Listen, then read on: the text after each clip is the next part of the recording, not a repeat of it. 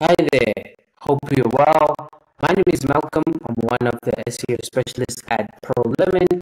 In this video, I'll be discussing with you and walking you through how you can create a schema markup with zero code for your website using Google Structured Data Help Markup Helper.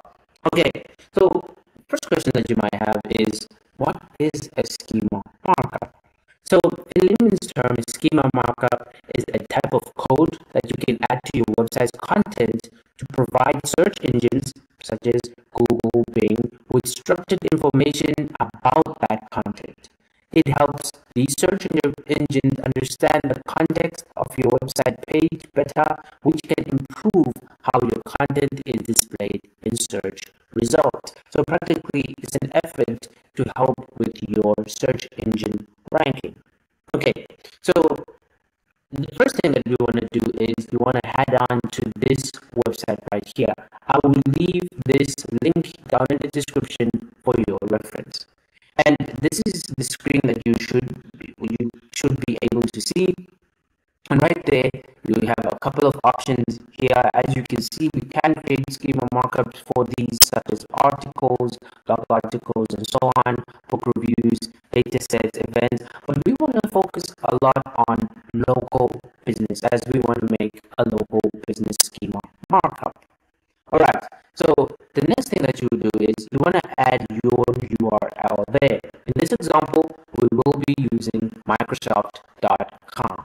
Okay, so once you've arrived to this page and you've selected local businesses, you want to click on start tagging. So usually this takes a minute or so to start um, up. So in the meantime, we'll, okay, there it is. We'll discuss how this can be done. So this is a way you can do it without coding at all, will just be simply tagging things that is currently on website. Okay, so just let's leave that do its thing there for a minute.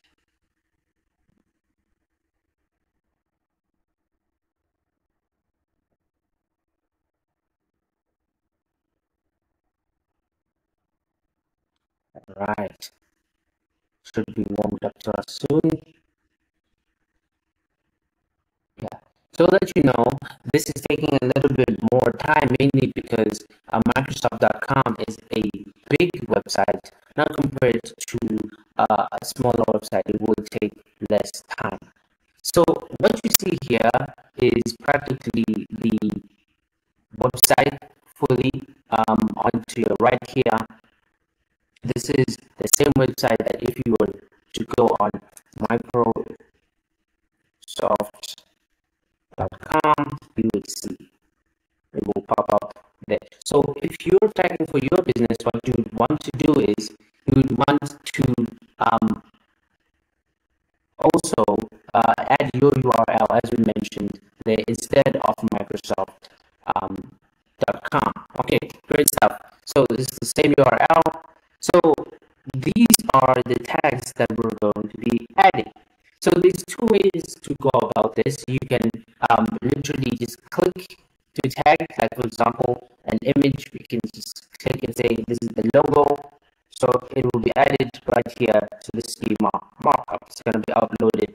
Um, it's just going to get the URL for that specific image.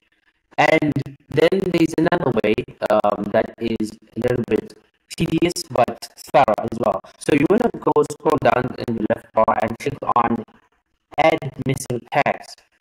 And then what I usually do is I usually start from the top. Like for example, I start by writing the name. So in this instance, I want to write Microsoft.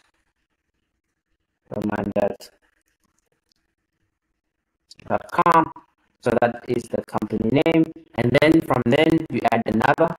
Then I start from as I mentioned. So I won't need to add another image since I already tagged it there. So you want to add the telephone. So in this example, can just say plus one, one, one, one, one, one, one, one, one. So here is where you want to add your phone number to help with uh, search engines to see that, as well as finish practically finish up this. So uh, my name is Malcolm, so I'll be adding my, uh, Malcolm at Microsoft.com and so on. So this is where you tag tag, you add your address. Um, this is where it gets uh, a little bit complex. Um, like for example, you want to add your street address. You want to make sure that here you write the the the address, so it can be even the number five micro road. That's just for an example, and then you want to tag another one under address. You want to say local city, city. Um, let's just use um, Dublin. This is just for for reference. It's not a literal example. Microsoft is not in in Dublin in Ireland, but this is just for for your. So you just add the state, uh, city there. But we want to be adding Dublin here, and so on as it goes below. So you want to make sure that you fully complete this list and right when you're done you want to click on save. So once you click on save you see some of the changes pop right here. Make sure that everything is filled here and then once you're happy you have now have your um, schema markup once this is complete you want to click on create HTML so I'm just going to click that and as you see here the data that I have inputted um, shows here. So what right after you you can copy and paste and take it or you can just download the file right here.